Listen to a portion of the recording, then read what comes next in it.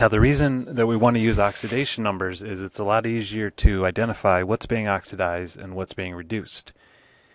The better definition to remember of reduction and oxidation involves the oxidation numbers.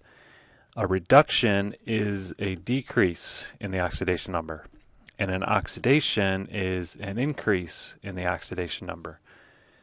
So here's an unbalanced reaction where I've gone through and I've applied all the rules for assigning oxidation numbers from the last video and I got these numbers so from those numbers, we can figure out what's being oxidized and what's being reduced.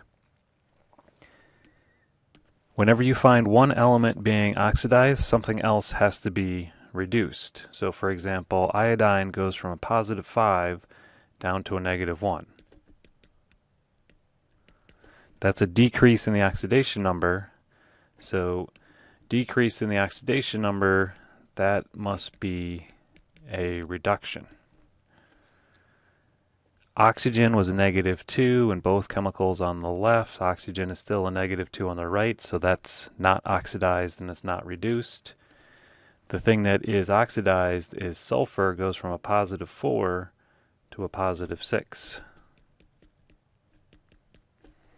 That's an increase in the oxidation number, so it is an oxidation. And we can assign the oxidizing agent and the reducing agent. The element iodine was reduced, but iodine is not a reactant in this reaction. So to find the oxidizing agent, what caused the sulfur to be oxidized was the reactant IO3 minus. Similarly, what caused the iodine to be reduced was the sulfur, but the sulfur was found not by itself. It was found in HSO3 minus. So this is the reducing agent and the oxidizing agent.